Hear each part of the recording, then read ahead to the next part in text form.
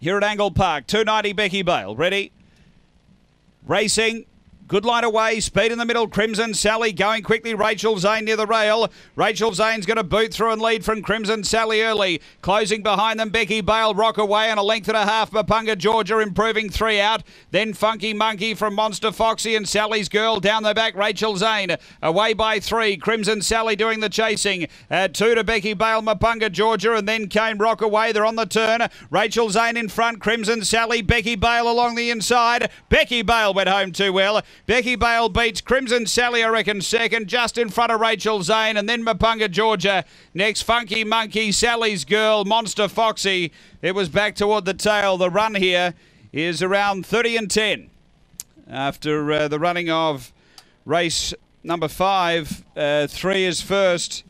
Number three, uh, second, goes the way of five. Uh, Crimson Sally. And uh, third, um, Rachel Zane. It is uh, three, five, one, and six. Three, five, one, and six.